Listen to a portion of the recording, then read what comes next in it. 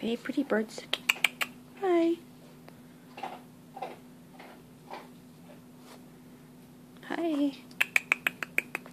So I've named the white one Tinkerbell and the male pied canary. Um, I can't remember. Oh, I think. Am I going to name him? I don't know.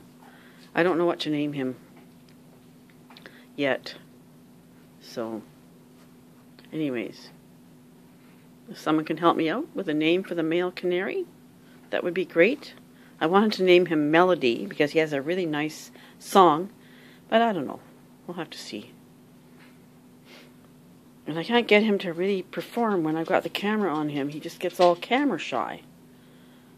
I guess he's just not used to it. I'm going to have to show it to him every day when he's singing because he has such a nice, a nice song. Just can't get him to really go for it. Guess as he feels more comfortable, he will. It's a pretty little guy, though. He's pied. That's what his, his colors are called, and she's called a border canary, the white one. So, yeah, I looked it up and just saw her online. Didn't see him, but that's what I was told that he is.